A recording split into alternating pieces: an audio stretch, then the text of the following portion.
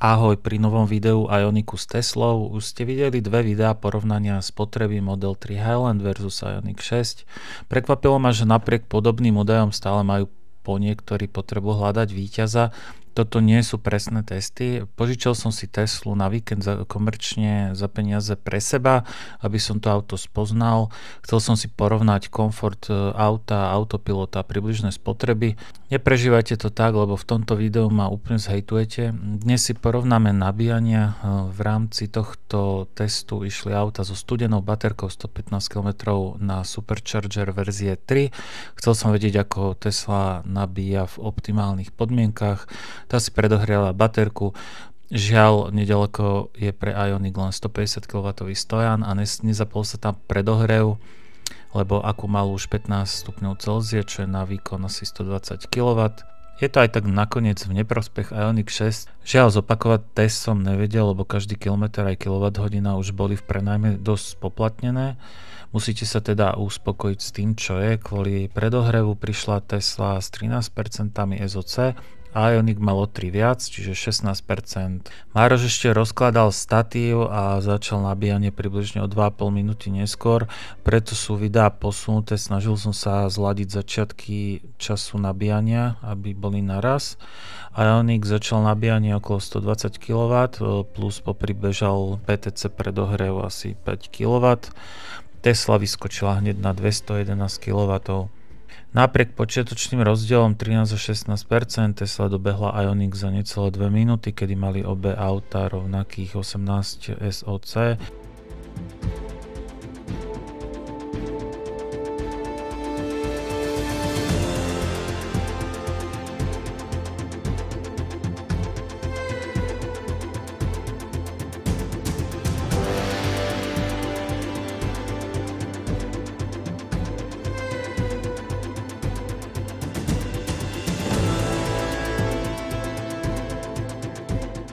Takmer 8 minút trvalo, kým si zohrial Ioniq akumulátor na 20 stupňov Celzia a vyskočil tam výkon na ten limit nabíjačky 150 kW. Ak by bol výkonnejší stojan, výkon ide v týchto teplotách až okolo 200 kW. Ioniq má teraz 34% a Tesla má nabité už na 38%. Tesla ale v tomto momente má nabíjací výkon už len 125 kW.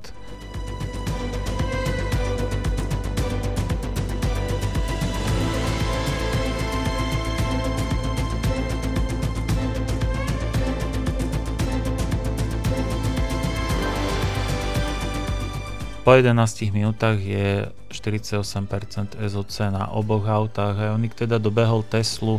Ioniq si drží výkon okolo 147 kW, Tesla má už iba 100 kW. Škoda teda toho pomalého stojanu, lebo Ioniq si vie držať 200 kW v istých podmienkach až do 69% SOC.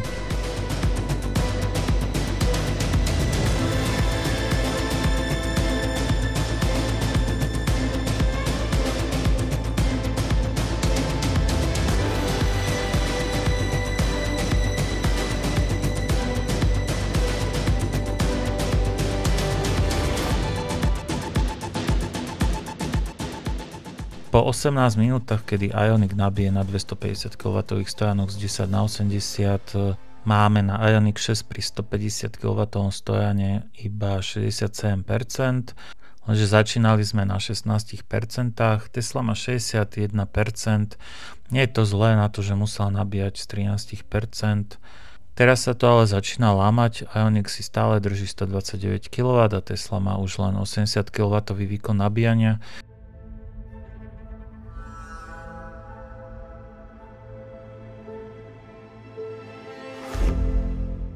Rozsah 16 na 80% nabije Ioniq so studeným akumulátorom v Colgate 2. stupňa, to je 15 stupňov Celzia, iba po 22 minútach aj na pomalom 150 kW stojane.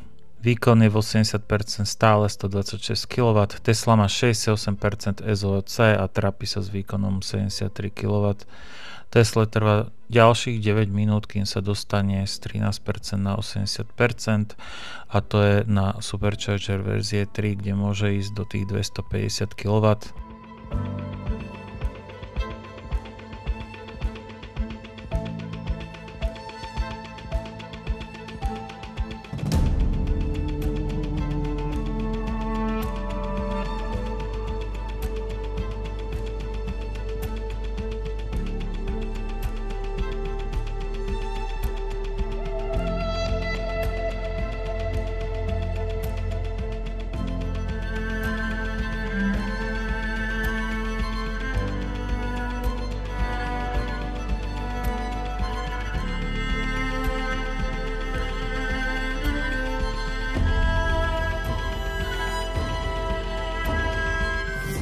Maro spracoval ešte údaje do grafu, tak e, sa naň môžeme pozrieť. Tu vidno, ako má 800V platforma v celom rozsahu plochu krivku. A to je game changer aj pri pomalom stojane a studenom akumulátore.